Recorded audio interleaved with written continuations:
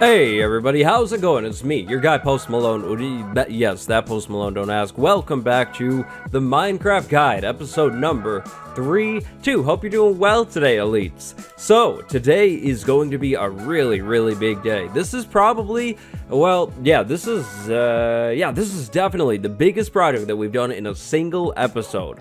We're back over at the custom villager village that we're working on. Pam, your job has been served. Thank you very much for helping me. You're gonna have to move today.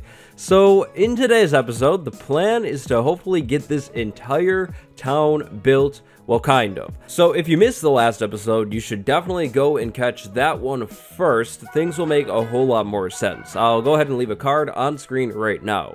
Basically, we're building a custom village for villagers. Now, there's a lot going on over here. This over here is the key. Each wool color represents something different. Today, our focus is the yellow. We need to get all of the buildings in, and actually the orange too. The orange is more buildings, I just ran out of yellow, so I used a different color there. Right, at the end of the last episode, we talked about the block palette. Now, the palette is very, very important. We're trying to build a desert village, so we need to make things look deserty. Now, this desert village should definitely look different than the vanilla villages. If it didn't, well, then this would all be kind of pointless. So these are the blocks that we'll be using. We'll be using spruce wood, oak, uh, lots of sandstone, and not just this type of sandstone, smooth sandstone as well, and then terracotta. Now, we can use pretty much any terracotta color that we like. Now, before the episode, I got all of this terracotta from the Mesa, and I went ahead and healed up our tools as well. I also went around and collected all of the oak logs that I had, uh, the sandstone, pretty much all of it, and the spruce wood as well.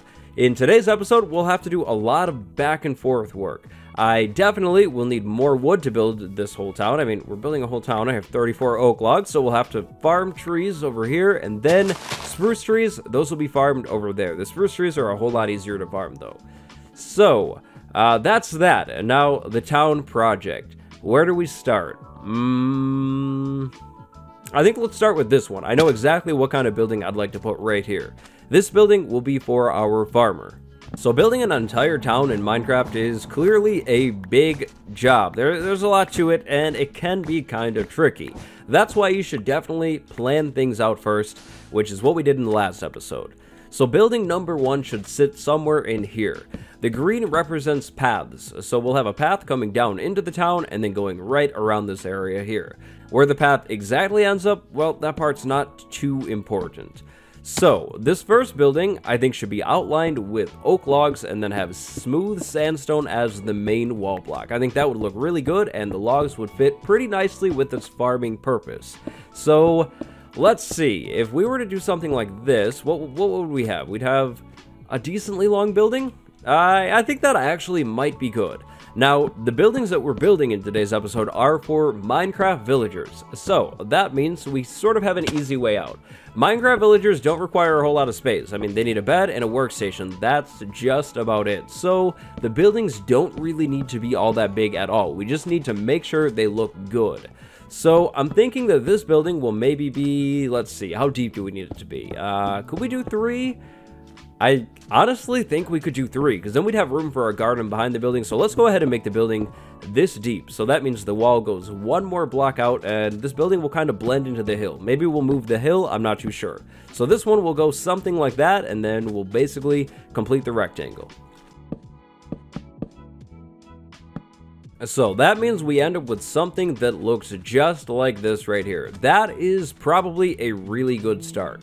Now, today we need to get the buildings in. The details, those can actually come a little later on, like in the next episode. We will maybe do some of the building details today, but for the most part, we need to really just get the structures in. Getting the structures in is going to be a really, really big job after all, and honestly, now that I think about it, adding the details is going to be a really big job too, so it might make things a little bit easier to split them up into separate projects.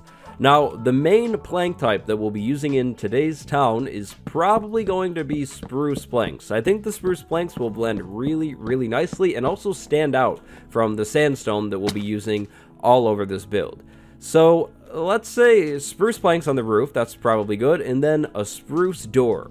Down below the door, we'll do that though.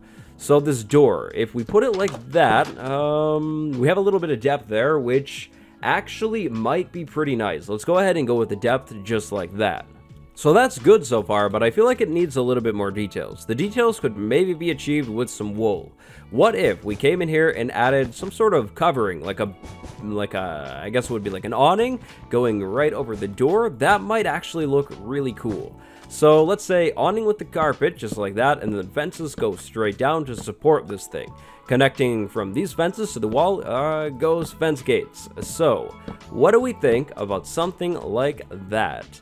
Hmm, I think that might actually work perfectly. It's kind of hard to tell with this wool in here right now. The path will be sunken down into the ground, but yeah, I, I think that'll look good. Now over here, next to this build, I'd like to build something that I forget the name of yet again. The thing is with fences. So let's say maybe a 3 by 3 area like that, and then the fences go up, I think, four blocks, and then we can go ahead and spam fences all over the roof of this thing. This is exactly what we did on the sugarcane farm over there. But, uh, yeah, the name, mm, you guys are going to help to help me out there. Don't remember what it's called, but I think it'll look good. Then, right in the middle of this thing on the ground, we'll put a composter. We'll probably put another composter inside of this building as well. We can have more than one farmer in the town, because farmers are very useful. We have lots of farms, farms produce crops, and we can take those crops and sell them to the farmers for profit. We are trying to use this village as a trading hall after all, so I think that, I, I think I like the sounds of all that stuff that I just said. Beautiful. So, for build number one, this is what we have. We have building and little thing over there made out of fences. Now, I think that's going to be it for the first build. Obviously, we'll have to come back and add the details, but uh, as a structure, that is pretty solid. Now let's go ahead and tackle this building right here. Now this time, I definitely think it would be cool to use some terracotta. So let's try and do maybe terracotta coming up right from the ground on the corners, and then maybe lots of sandstone in the middle. Now, how much smooth sandstone? Well, good question. Uh, I think the inside of this build should be raised up. So we'll have the door sitting on a block like this, and then Two blocks of space, another block, block over the door, just like that. So I guess the terracotta goes up this high. Now, this might be cool to turn into a tower. So let's try and make this one a tower, actually. Uh, just two stories, so not too tall, but a little tall. I think these blocks should work together. I need more smooth sandstone, but I think that should work. That could be actually pretty cool. Now, the first big standout town building tip that I can give you guys in today's episode is to go one building at a time. Take things slow. Now, it may seem that today's project is kind of going quickly, but it, it really isn't. I am taking things slow and thinking a lot in between cuts. Go one building at a time for sure. Now, you may be thinking, you know, obviously I'll, I'll go one building at a time, but really, seriously, try and finish one building completely before moving on to the next one. If you don't, you'll end up with a bunch of buildings that are like half built and then your town's not going to look very good. You'll get uninspired, you'll get frustrated, and then you'll end up tearing things down when you don't really even need to tear anything down at all. Now, sure, I did skip the details. Usually I would recommend doing the details first, but I I can break my own rules here. this is my channel. I, I will break my rules when I need to. So uh, yeah, mm -hmm. usually you should finish one build all the way. So there we go, floor one. Now let's go ahead and do the same thing again. The floor on the inside will sit where the orange is, so we don't see it from the outside. So this one will go up to here, just like that. The tower will continue straight up again, and then We'll do the same loop right around the top, and that should probably be good. I, I think it will be. So obviously, the vibe of this one is completely different than that building over there. The wood and the orange are quite different in tone.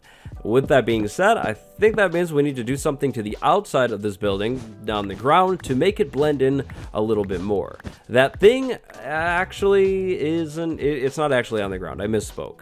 I think if we come in with spruce buttons on these flat parts of the orange and just kind of place them everywhere, things will start to blend in a little bit more. Now, Obviously, the, the building's still going to look pretty different, but now we have the brown tone brought across the road into that building, which I think is perfect. That is the tie-in that we needed. So I'll have to come back in with a couple more buttons, and we're actually going to do that right now just to see how it turns out, but something like that would probably be good. But I feel like we could get a little more brown in this build by maybe adding a small porch. So let's say this is the front of the build. That'll this will be where we put the front door. We could do spruce on the ground right there, and then maybe some staircases or slabs. Actually, yeah, slabs all the way around to really bring the same colors right across the road. All of the builds don't need to use exactly the same colors, but you should have a pretty consistent palette, which is the next big tip here. If you don't have a pretty solid build palette, or if you can't stick to your build palette for some reason, your town will end up looking pretty random. You really want to try and make sure your builds actually match each other. Matching is very, very important on a town build like this one. Now obviously, we could get spawns on top of this build, which is going to be a problem, but it's a problem that we will deal with a little later on before we get villagers inside of this town. Obviously, we're going to need to block spawns across this whole town. If one zombie spawns inside of this village and turns a villager into a zombie villager, then the town is pretty much gone. Big problem. So we'll need to make sure things are safe. Now, what do we think about this build right here? Do we like it? Mm, yeah, I think we like it enough to leave it for now. And if there's a problem, we'll come back a little later. Now, who will work there? No clue. We'll figure that part out a little later, but building number two, check. Now, I know that this building is going to be a big one, and it's going to be, I think, two stories, so we'll come back to that one, and instead, we'll work over here on this building. Now, uh, what should we do with this one? So we have a rectangle, we have a circle. Maybe we will actually keep this build as a square. We'll keep this one nice and simple. So, front door going towards the center marketplace area. I like that idea. So, right here will be the door. This build will be placed right on the ground this time. Yeah, let's place this one right on the ground. For this one, let's try something a little bit different. Instead of using wood or terracotta to outline this build, let's try using different types of sandstone. I think that could look pretty nice. So on the corners of this build, we'll do sandstone just like that. Then Maybe we could actually add an angle to this build by doing a slab roof. So let's say we have slabs like that. We could go up maybe one or two blocks and then have a flat roof still. But doing something like this will bring the brown from that build and that build over into this one. And I think that'll look nice. And you know what? Just because why not, let's go ahead and change this build up already. On this side, the side that was originally going to be the front, let's make this actually the side. So the front door will go over here facing towards the farm in this area. On this side, we'll do some sort of market stalls, so villagers could like stand here and sell things if they were going to actually do things like that. They won't, obviously, but they could, and I think that'll look really cool. It'll add a nice feel to the marketplace that we have in here eventually.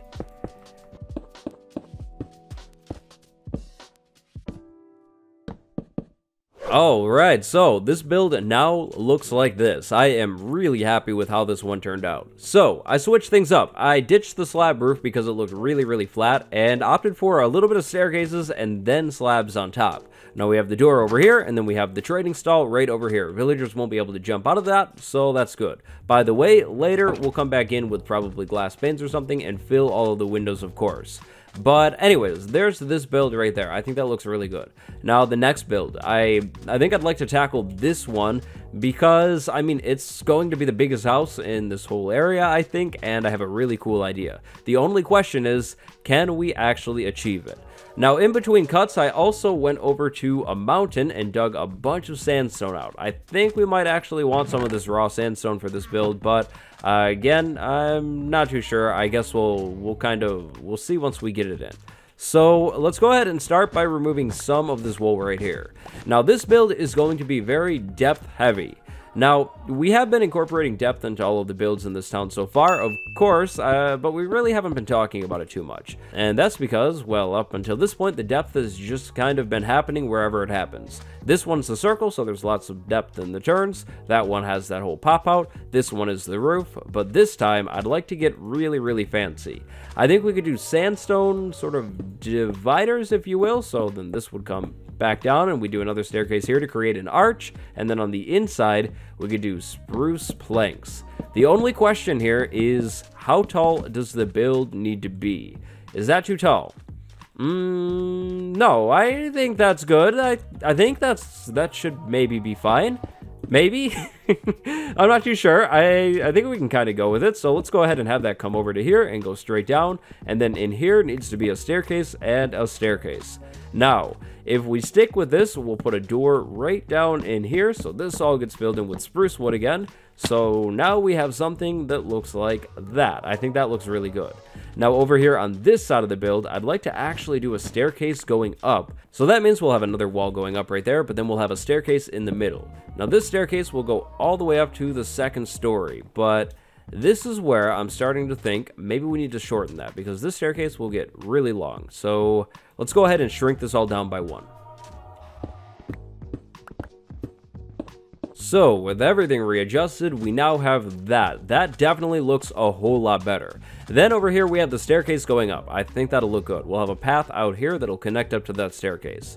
Now, in these flat areas, I think we could do probably oak logs sticking out, but the question is, do they go there or do they go one block higher? Hmm, I think they go right there where I'm putting them. Um, maybe they go one block higher. Now up here to cap things off, we'll do smooth sandstone slabs so the logs actually stick out of the blocks. That looks really good.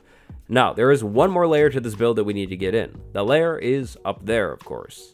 Now, you'll have to excuse me a little bit because we don't have the top area done at all, but imagine a floor in here with something. Maybe it's spruce, maybe it's sandstone, I, I don't really know. So we have a floor in there. Now, over here, I think I'd like to add another layer to this build, but this floor will only be accessible through this staircase over here. So the ground floor is disconnected entirely from the top part of the build. That means that this top part of the build could be its own building entirely. Now, how do we line it up? That is the big question. Do we do these going up like that right there? And have it like offset from those? Or does that move? Maybe this should, it should definitely stay in line with these. Uh, definitely. Okay, so this all moves back one block that way. Now to differentiate the top from the bottom part of the build, we'll use normal sandstone up here. But what do we think? Will it look good? Mmm, I think that'll look really, really good. Now over here, I did sink the lime wool down into the ground where the path will actually be, but I didn't do that over here. I think we'll get a better picture of this build if we could just move all of this lime. So let's see, what do we have now? Um, Definitely good, but the bottom part should be taller again. So this time, easy. We can extend this downwards, not a problem at all, and the staircase can stick out a little bit. I don't think that'll be a problem at all either, because we can do that there, and that there just like that, and that adds even more depth to the build. So, I think this one is great. Uh, just like that. Mm-hmm, just like that. That one's perfect. Time to go ahead and get this build in.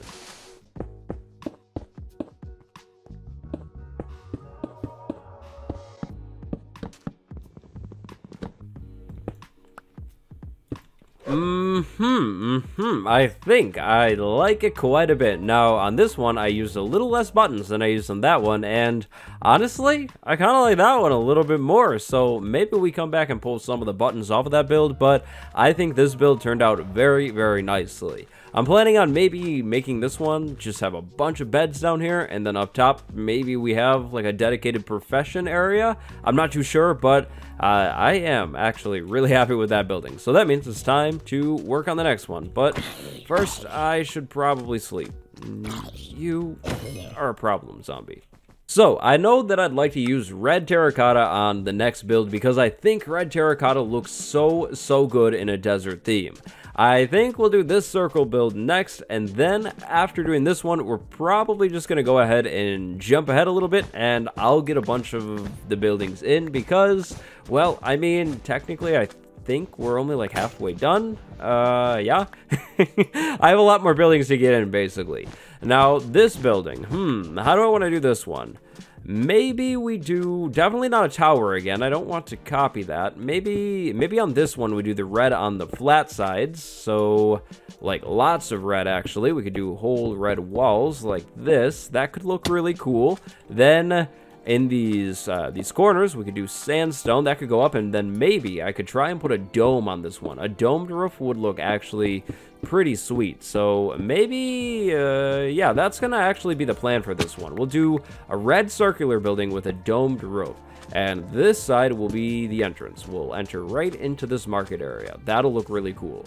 Now another big part of making these town builds look good is using different shapes. So if you couldn't tell already by this point in the video, I'm trying to do different shapes on each building. I'm not doing all circles or all squares or all rectangles. If you do something like that, your village will look maybe good, but it'll look also really, really vanilla and, and basic, honestly. Now, basic isn't always bad. Basic could look good, but if you're trying to get a really cool custom-looking town in, try using different shapes. Now, for example, this build over here, I think I'm going to try something very, very different, but first, we need to finish this one. Uh, the dome idea, I think that is going to work really, really well. But this side will be kind of odd, so...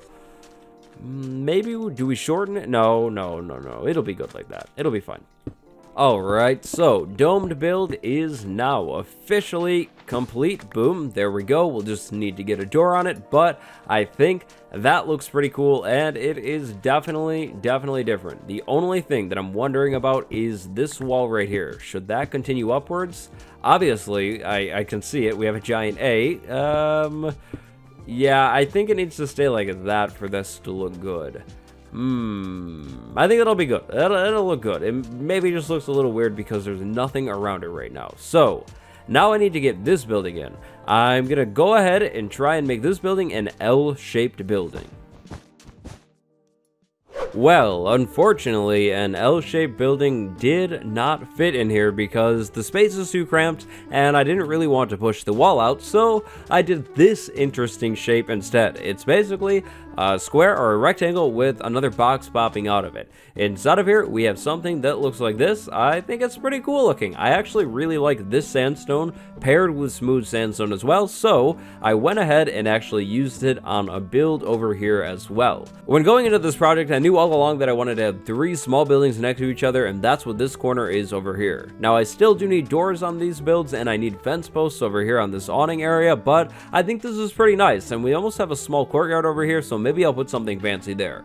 Now, initially, back here, I planned on doing more crop gardens, so maybe we'll do that, I'm not too sure. I definitely would like to have plenty of food in the village, so yeah, maybe crops back there. That would be a, probably a pretty good spot for them. So, now we have this. This is looking really good. We are actually almost all the way done with this town. We have three more buildings to put in. One over here, one there, and then one over here. This building, for sure, will be the L-shaped building. We'll do the L going down this way and then going over this way, so the missing corner is towards the market area. Over here, probably a big, strong square building, and then back there, I'm not too sure. Maybe another tower. A tower could look pretty nice. Maybe a tower very similar to that one. Then, finally, back here, and we'll come back before I do this one, but back here will be buildings that are sort of coming out of the side of this cliff. But that is just about it for everything. Uh, oh, yeah, by the way, I'm going to try and work granite into this L-shaped build over here, so we'll see how that works out, but... Yeah, three more buildings are about to come in now before our final jump back in. So, wish me luck, and it's time for me to go ahead and get right back to work. Well, this isn't the village. Mm hmm that is right. This is the sandstone deposit that we've been using for quite some time. I am out of sandstone again, unfortunately, but fortunately, this pickaxe plows right through this stuff. Like, not even a problem. And, oh no. That's a problem. That's the end of the sandstone thing. Hmm. We'll have to find a new area to get sandstone next time we need more of this stuff. Ah, uh, that's kind of a problem. Anyways, the town is coming in quite nicely in my opinion. I have just about every single building finished and we're about ready to work on the buildings that go at the back of this town. But first, this is what I have now. So this building, this one looks really, really different, but I think it turned out pretty nicely. I think that this will be the smeltery building. Not that we'll actually put lava in this town, we can't trust them, but maybe we'll do like campfires or something and have smoke coming out of this build because that would look really cool. So the granite is incorporated and I think it looks pretty nice here. I think it adds a lot to the town actually because the town is kind of samey looking intentionally and the granite is nice. So over here I have a building that I'm currently working on. I need to throw a roof on it and then over here here we have a tower. Now this tower is pretty much copied over from that one, but I added an awning on this lower area to make things look a little bit different. I didn't really want to copy the same exact build identically. I felt weird about that, so uh, I decided to switch it up a little bit. I did put the buttons on the top in a on in a different way too, so don't know. I'm trying to decide which one I like more. Honestly, I think I like this one more. The buttons are more consistent, but not too sure. And still, all of these builds do need glass panes. We might put those in today, maybe in the detailing part, I'm not too sure.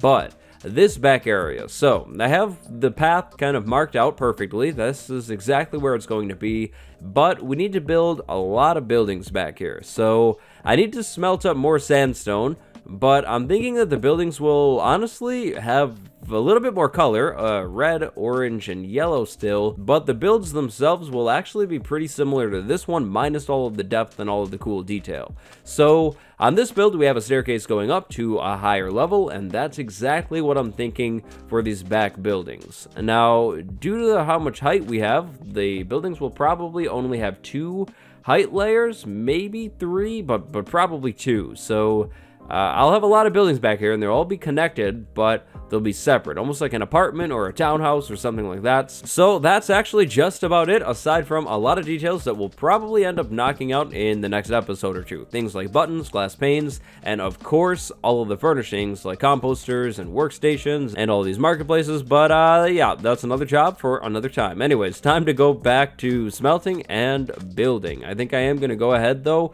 and finally move all of this stuff, at least the furnaces, over towards the middle of the town uh, because it's kind of annoying running all the way back over here every time I need to smelt something up. The bed will go in the middle as well. Oh, and a patrol came through, but the patrol, uh, they, it's gone now. we'll put it that way. Wow, this has been a huge, huge project, Elites, but the town is now finally just about done, or at least the shell of the town. When I say shell, I mean the structures. All of the structures are now finally in. Here it is. So, uh, we'll do a quick little tour here at the end of the video. So we have the farm building, farm building number two, I guess, another building there, another building there, uh, another building that you guys have definitely seen right over there. Then we have this one. This one is now finished. It's new. We have an open lower area. I'm not too sure what'll go in here. And then we actually have a staircase up to the roof of this build where I plan on putting another workstation and making a small villager setup up here as well. I think that'll be cool and it'll overlook this whole center marketplace area that I keep calling it. Now, going down this road, we have this tower building over here. We'll have to work on the insides of all of these buildings in the next episode. Then we have this area back here, which is completely new. Now, I am really happy with how this area turned out. Basically, we have stacked buildings all over the place in this back corner, and I think that really makes this back corner feel like crazy built up. In between the buildings, we'll probably do walls, and then these buildings will actually act as a wall as well, so whoever lives in this building gets a view to the outside world, but the villagers will never leave. uh, yep, they're trapped there forever. So anyways, building building, there's another building right in here. This one is an interesting shape. Then we have another building right here, same shape but flipped or reversed. Then another staircase up here to a large building where I'm thinking about adding a back door. Now the back door will be controlled by buttons and it'll be an iron door. So basically, this back door will only be for us so we can sneak into the town if we need to. Another building over here and then down here another building again. Pretty predictable. Now, the path curves back over towards the market, and then over here, we're thinking farms. Lots of farms going there. Now, this is that big fancy building that we built. I really, really like this one. That one might be my favorite, or honestly, this one too. I really do like how that one turned out. But then finally, we have these three small buildings in here. Now, I did go ahead and put plain glass panes on all of these buildings because, well, I I couldn't come up with a color that would fit really, really well in here. I did think black stained glass, but that's kind of dark, and, and I don't know if the villagers would like that. Then I was thinking about a color, but we actually have a lot of color in the town already, so I skipped the color and went for plain glass. Now the doors uh, alternate between spruce doors and oak doors because I figured spruce doors on spruce wood wouldn't look the best, so yeah, that's how I came up with that. That's what I did there. Now, the detailing. I did start some of the detailing on some of these builds, like the buttons and such, but the detailing is definitely nowhere near done. Detailing is a huge part of doing these towns. If you skip the detailing, your town will look empty. It'll look lame. It'll look unfinished. So we're going to go ahead and actually save all of the detailing for the next episode because would you look at the time? It's just about time to end the episode. Here you go pam. Uh, you can have that. But i hope you guys enjoyed this episode. What do you think about the town so far? Definitely share your thoughts your opinions in the comments below. I'd love to hear them. And if you like the video drop a like and subscribe if you haven't yet. All of my links are right down in the description. The merch is right down below the video as well. Today i'd like to send a big big thank you a big shout out to my patron Brown Banana 13. Thank you very much for the support, and I will see you all in the next one. Until next time, stay cool, elites. Adios.